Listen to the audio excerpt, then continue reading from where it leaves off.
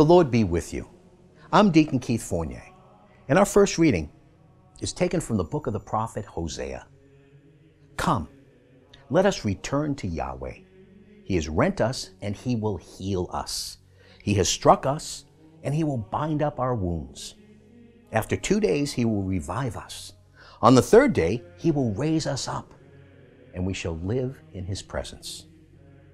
Let us know, let us strive to know Yahweh.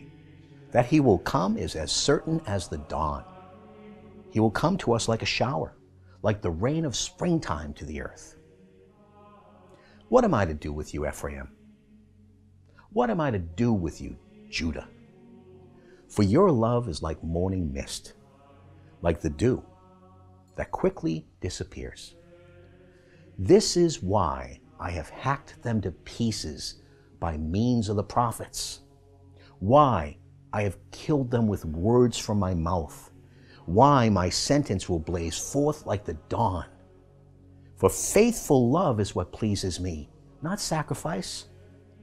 Knowledge of God, not burnt offerings.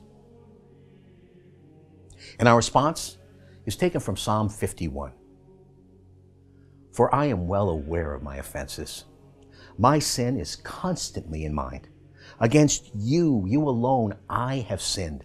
I have done what you see to be wrong, that you may show your saving justice when you pass sentence, and your victory may appear when you give judgment. In your graciousness, do good to Zion. Rebuild the walls of Jerusalem. Then you will delight in upright sacrifices, burnt offerings, and whole oblations, and young bulls will be offered on your altar. A reading from the Holy Gospel according to St. Luke.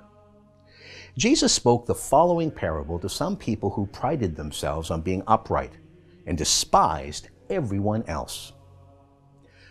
Two men went up to the temple to pray, one a Pharisee, the other a tax collector.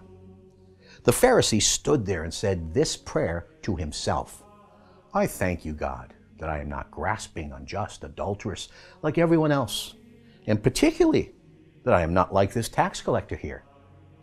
I fast twice a week. I pay tithes on all I get. The tax collector stood some distance away, not daring even to raise his eyes to heaven. He beat his breast and said, God, be merciful to me, a sinner.